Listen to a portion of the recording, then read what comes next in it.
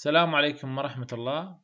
اليوم راح نتكلم عن الاند والبات كأدوات ربط. طبعا إحنا نعرف الاند تستخدم آه، كأداة ربط بين جملتين وتدل عن جملة متشابهة.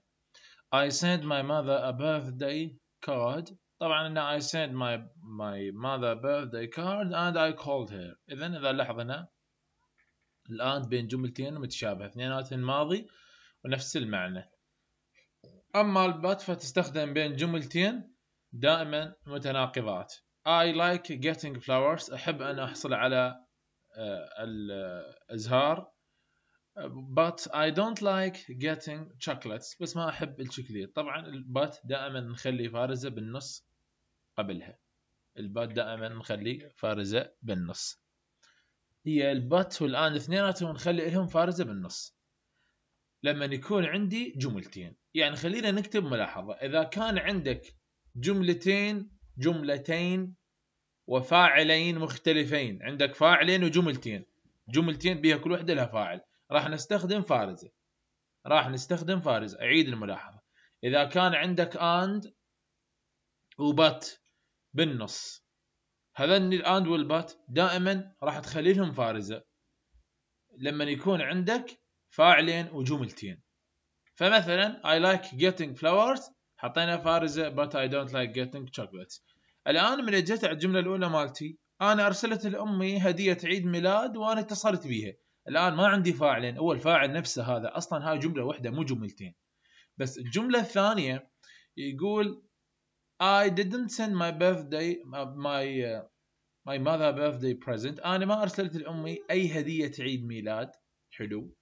And he didn't send uh, طبعا والدي عفوا أخي brother أخ brother أخ لم أرسل لأخي أي هدية عيد ميلاد. And he didn't send me. الآن عندي فاعلين اني وأخوي. أنا وأخوي. طالما أنا عندي فاعلين بالجملة لذلك هنا إحنا راح نستخدم فارزة. لما يكون عندك فاعلين مختلفة نستخدم الفارزة اللي هي ال comma اللي هي comma إذا تلاحظ هنا استخدم لها لأن عندنا فاعلين يقول look again at the paragraph on page يقول باوعلي على الإنشاء اللي موجود صفحة 13 underline the sentence joined by and but. حدد لي الجمل اللي بيها and و but. أكيد هذا مو صعبات عليك. معقولة ما تعرف الجملة اللي بيها and و but فهذا موضوع بسيط. طيب. يقول complete this paragraph with and uh, or but. هنا عندنا هذا الإنشاء ولازم نعرف يا هي اللي تاخذ الأند ويا هي اللي تاخذ البات البات الآن عندي الجملة الأولى. الإنشاء هو يحكي عن people in United States and Japan celebrate Valentine's. الناس تحتفل في يوم 14 من شهر فبراير. However بالرغم من ذلك holidays is celebrated in different ways in each countries. طبعا إحنا راح نحكي عن الفالنتاين بأمريكا وفي اليابان. يقول هنا in USA بأمريكا ال Valentine's Day يوم الفالنتاين is enjoyed by friends and romantic partners يعني الناس راح تحتفل به والأصدقاء. طبعا هنا راح نقول but but sorry إذا نقول but ليش قلنا but لأنه ده يحكي عن شيء وتناقض قال in Japan فهذا راح يكون تناقض. طيب يقول هنا chocolate is the most uh, popular uh, gift in Japan and it is common وهو شائع طبعا الآن إحنا نستخدم and لأن الجملتين متشابهات بنفس المعنى لأن الجملتين متشابهات بنفس المعنى طيب However, in USA, other kinds of gifts are given, also given. هنالك أيضا الهدايا الأخرى. And many people exchange cards. والعديد من الناس يستبدلون الهدايا والبطاقة. طبعا هذا اكفد شيء متشابه لذلك يعني أستخدمنا ال and. البداية حكى عن الهدية وبعدين أيضا حكى عن الهدية فشغلتين متشابهات. طيب بعدين هنا قال girls and women give women chocolates to boys and men. يقول باليابان الفتيات تعطي والنساء تعطي الشوكليت للأولاد وإلى لكن في الولايات المتحدة إذا هنا but هنا but راح نختار but. I would like to be a man in Japan but a woman in the USA يعني أريد أن أكون رجلا في اليابان ولكن امرأة في ال US فطبعا هذا هو الإنشاء مالنا. استخدمنا الأدوات بشكل صحيح وتعرفنا عليه. طبعا هذا موضوع التنقيط أنا شرحته لكم. إحنا عندنا أدوات الربط. أدوات الربط هذه اللي إحنا عندنا ال and وال but. طبعا الأند والبت هذين الأدوات إذا اجني بالنص أنا راح أستخدم الفارزة ولكن أكو شغلة مهمة. شو وقت أستخدم الفارزة؟ لما يكون عندي فاعلين مختلفين أو لما يكون عندي فاعلين يعني جاهزين. جاهزين مو نفس الفاعل. هسه مثلا I didn't want to send her present but I sent her anyway الآن هو صحيح نفس الفاعل I باي بس أنا عندي فاعلين يعني. المهم أنا عندي ضميرين اي اي يعني خلاص طالما عندي ضميرين فأنا راح أستخدم الفارزة.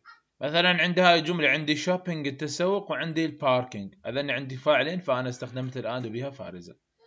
أيضا عندي هنا أيضا هنا عندي these days people post card and email. طبعا هناك كلمة ايميل هناك فعل يعني ما عندي فاعل. ما عندي فاعل. طالما ماكو فاعل شوف ما حطينا فارزة. إحنا من نحط فاعل لازم نحط فارزة. من نحط فاعل لازم نحط فارزة. هيك. حتى هذا التمرين I got a camera for my birthday and clothes for Christmas. يقول أنا عندي طبعا شوف ال and. هنا ال and اللي مستخدمها ما أكو بيها فاعلين. فاعل واحد لذلك ما مستخدم comma. بينما هنا مستخدم comma. هاي أكو عندك comma هنا. ليش؟ لأن عندك هنا فاعلين عندك اي اي إثنين. هنا عندك أحمد وهي. طبعا هنا راح نستخدم طبعا أداة الربط ونستخدم مع الأداة كوما. طبعا هنا لاحظ هنا الجمله شنو محلول؟ أحمد speaks English very well and he enjoys. And he enjoys. اذا لاحظ إن الأند قبلها فارزه ليش؟ لأن عندي فاعل أحمد وهي. يوشي بات حطينا البات أداة الربط البات وخلينا أيضا فارزه قبلها مثل ما نلاحظ أمامنا. أيضا نفس الحالة عندي بات لأن عندي فاعلين عندي فاعلين they هم هنا وهنا people. عندي فاعلين جدد Morocco has a lovely mountains and beautiful beaches. الآن هو دا يحكي عن المغرب. ما عندي فاعلين لذلك ما استخدم فارز خلى الآن وحدها هنا عندي حكينا عن الإسبانيش وبعدين حكينا عن البرتغال. طبعا استخدم فارزة ويا البات. كذلك هنا عندي presents اللي هي الهدايا. ما عندي فاعل جديد. but. ما عندي فاعل جديد. fun to give. ما عندي فاعل جديد يعني هو الفاعل نفسه أنا أحكي عن الهدايا.